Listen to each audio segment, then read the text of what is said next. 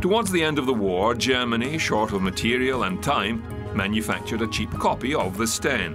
The MP 3008 differed only in the magazine position.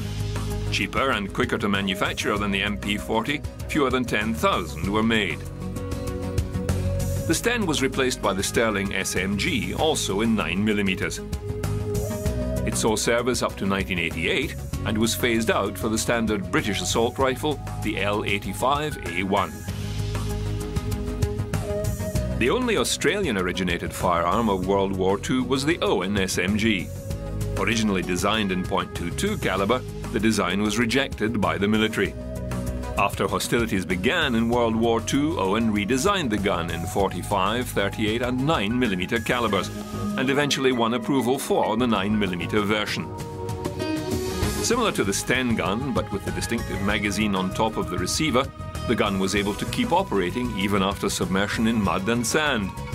It was later replaced by the F1 submachine gun, similar to the British Sterling except for the top-mounted box magazine. It too succumbed to the assault rifle design and was replaced by the Austeyr. Pressed by a devastating war with Germany, the Soviets developed their own weapon, the PPSH-41.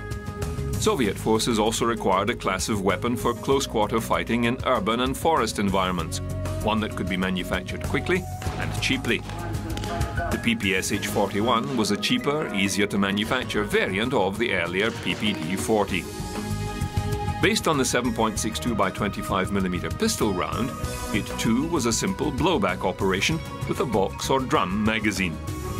Was a durable and low-maintenance weapon and over 6 million were manufactured. Each was made in only 7.3 man-hours.